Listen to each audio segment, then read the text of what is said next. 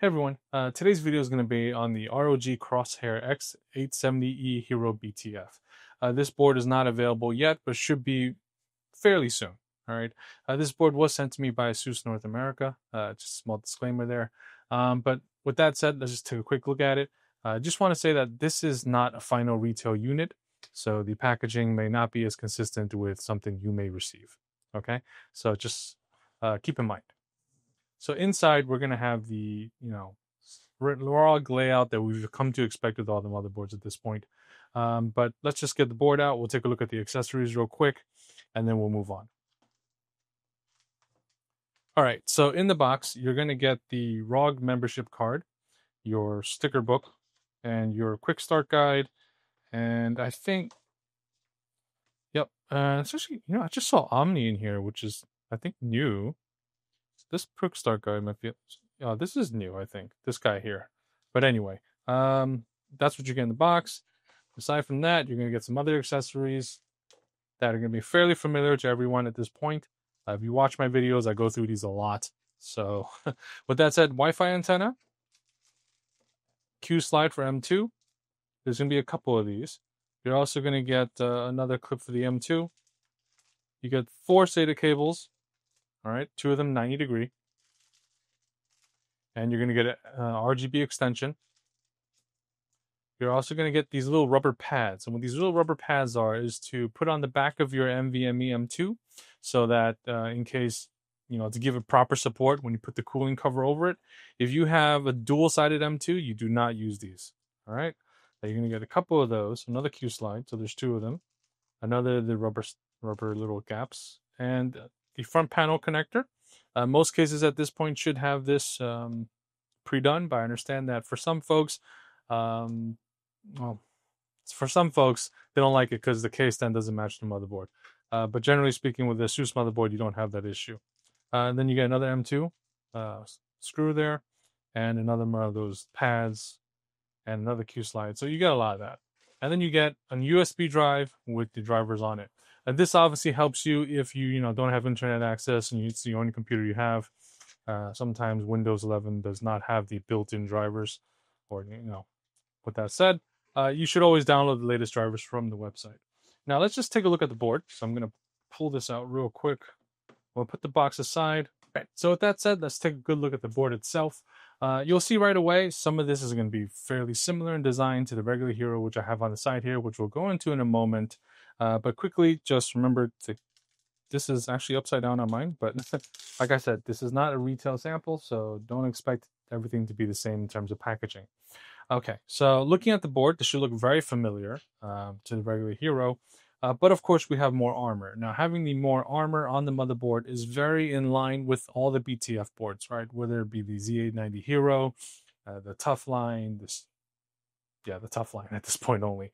So with those said, you know, they're all going to have the more armor here because if you don't put the armor here, you're going to see a bunch of uh, solder solder endpoints, and that doesn't look very pretty, right?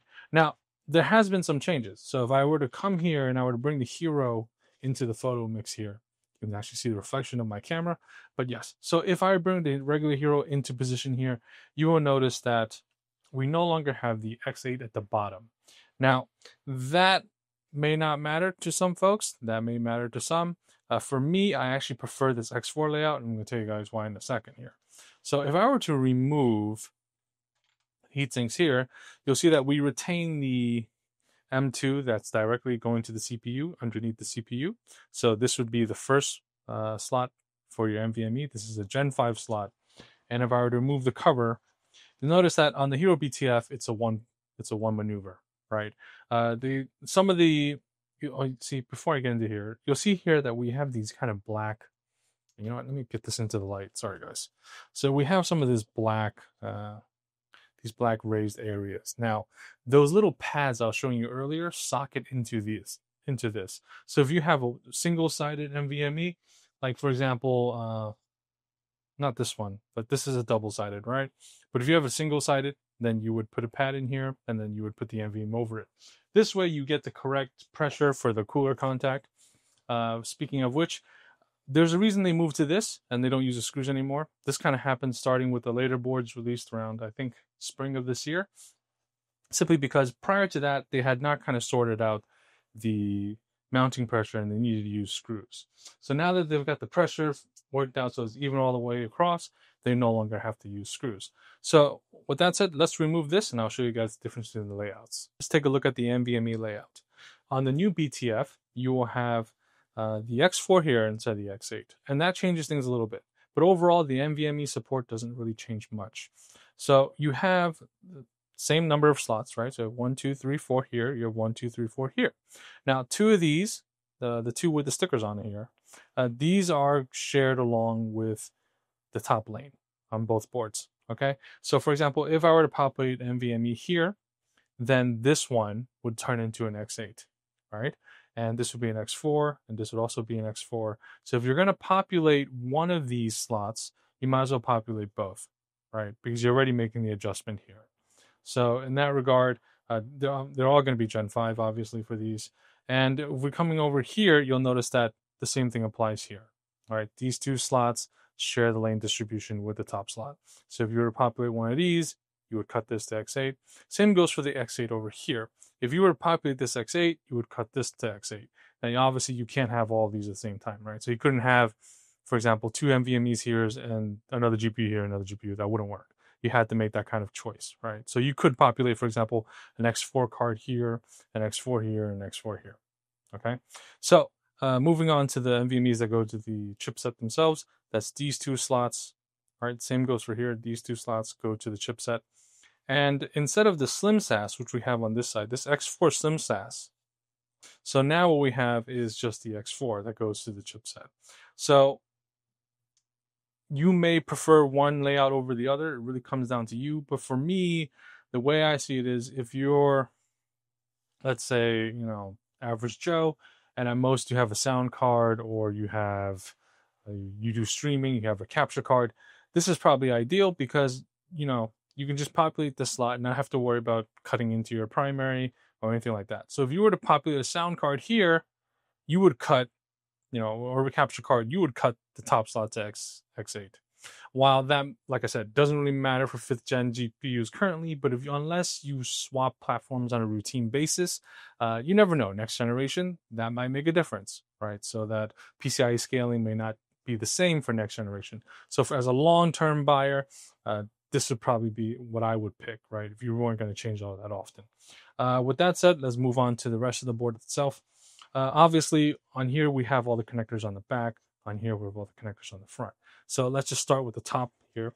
You'll notice that there is one fan slot, uh, one fan, uh, not slot, but one fan plug in the top here. This is going to be your CPU, right? It makes sense because for most folks, they have an AIO in the front and the AIO, you know, the fan, it's easier to hit it in the front than in the back, right? But you don't lose actually any uh, headers, for example. So if I flip on the back, I have the other three to match the four I have over here. Now you also notice obviously my EPS are going to be on the back, my 24 pin is going to be on the back. And as we go down here, you kind of see it mirrors laid on the original Hero. Right, we have the uh, USB-C, we have the USB 3. We do not have this PCIe um, 8-pin connection here for uh, fast charging. I think it's a is a 30 watt. I don't remember off the top of my head, uh, but this allows for faster charging through the USB-C. Okay, uh, we don't have that here. Instead, we have this, which is the 16 pin to feed the GPU. Now, um, for those of you that are aware of BTF boards, uh, this is where the GPU will get its power from if you have a GPU, um, GPU that is BTF compatible. Uh, if, whether it be 2.5, BTF, the original series. Uh, I recently did a video on the white BTF 5070 Ti, and I kind of covered this whole entire thing. So, uh, with that said, we have the 16 pin, and then we have the two SATAs and then we have another USB 3. So we kind of have matching with the original Hero, right? We have everything the original Hero had. We also have the two additional SATA down here, just matched the four that we had over here. All right. So we're not losing any of that. Right. In terms of the other connectors, they're all going to be the same two USB 2s. Right. You still have your temp sensor, your fan headers down here. We have one. Mine, one of them is busted from CES. But yeah, so we have two down here and two down here. So everything is going to be the same aside from this 8 pin for the for the fast charge. Okay, so outside of really just the, you know, layout for this X4 here and the lane layout here, uh, there's not much significant uh, functional I/O differences, right? So if we, even if we come to the back, you'll notice that they're kind of identical. Right, we have the same layout here with the HDMI, uh, 40 gigabit USB, 10 gigabit, another 40 gigabit that can also do display, uh, and then uh, 310 gigabit, another 10 gigabit USB, and BIOS flashback port. But you can see that it's identical, right? Same LAN ports. So nothing really changes in terms of all that. The only primary difference is obviously is going to be its BTF support, BTF board. Visually speaking, it's going to be a little bit different, and the X8 down here. So that's really just what it comes down to. Obviously, uh, if you have a 5090 BTF or you have a 4090 BTF Strix or you're planning to get the 5090 BTF, or if you're planning to get the Matrix, you should get this. Right? Uh, the Matrix, I can tell you, uh, I'm not sure the exact release date, but I can tell you it is very limited in the United States. I know the exact number that the US is getting. I don't know if I can share it or not, uh, but it's going to be very, very limited. And when you look at the 800 watts that the Matrix can pull, uh, while not specified, I'm pretty sure it's doing it partially through this connector here and partially through the PCIe, uh, the regular X16, right? Because it needs to pull from two separate locations to get that 8, 8, uh, 800 watts on the box. I think that's how they're doing it. I'm not sure, but that's how they speculated they were going to do that during a Computex presentation. All right. So with that said, uh, that pretty much wraps up the quick look at this board. I will be doing a build with this uh, BTF board. I'm just waiting for another BTF case to come out. Uh, well, on its way. Uh, so that way I can kind of show you guys in a case, not just the board on, on a table. Um, but with that said, uh, thanks for watching. Stay safe and take care.